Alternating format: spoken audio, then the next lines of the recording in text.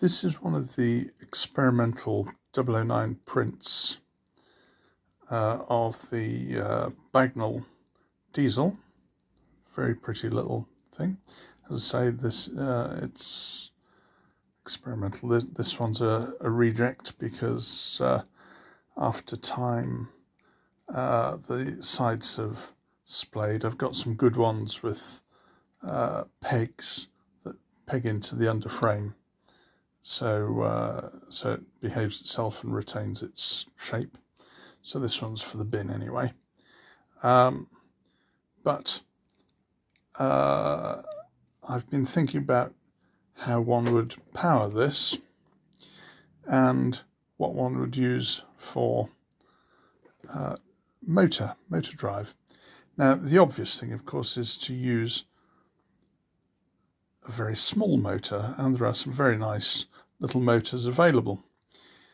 However, my mind tends to work in strange ways, and as people know, I've done a lot with gear motors, some quite small gear motors, uh, and of course, I started off using the N20 gear motors, which went into the 7mm lorries.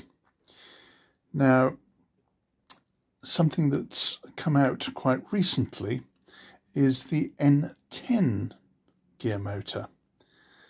And I bought a couple of these to have a look at generally. And actually, an N10 gear motor will do this thing quite well. Let me put this down and we'll have a quick look. I lift the body off. This little thing, if I can pick it up, there we go, is an N10 gear motor. Now, it's exactly the same sort of configuration as the uh, N20, very familiar. It's exactly the same gearbox and very similar motor.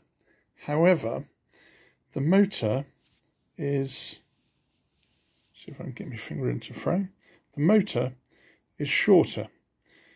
Uh, you'd think it would be 10 mil shorter, the difference between 10 and N10 and N20. It's not. It seems only to be about 5 mil shorter.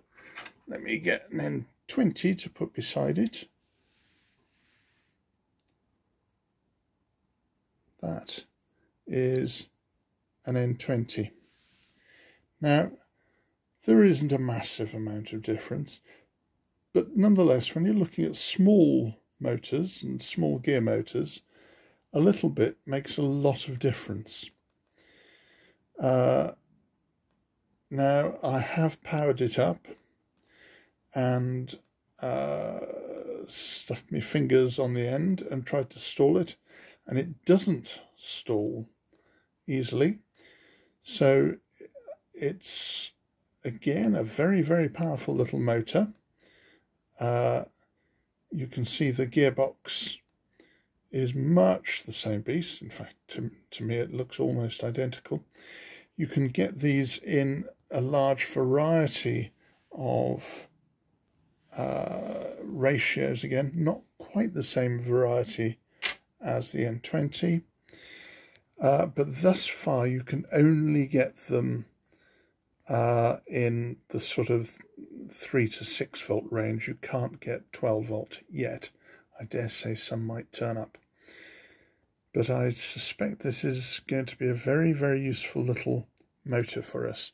So it's the N10 gear motor. Very, very pretty little thing. Uh, if I can find rule, here we are. Let's just put it across and you can see what size it is.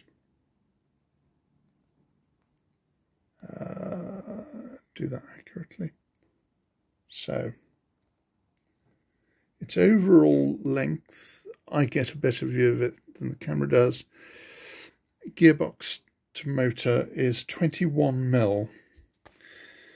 Uh, so 21 mil overall, and of course, uh, in section, it's 10 by 12 uh, it's come with this um, protection on, but that's neither here nor there. Um, standard 3mm uh, D shaft.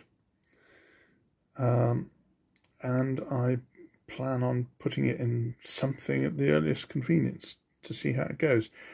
As I say, I think power isn't going to be an issue in a small model at all. And I'm hoping uh, if one sets the uh, frequency right, that controllability should be as good as well. But I hope you find these uh, of interest. Uh, it came, of course, from eBay, and if you search N10 gear motor, this is what you'll find. And I commend it to the house.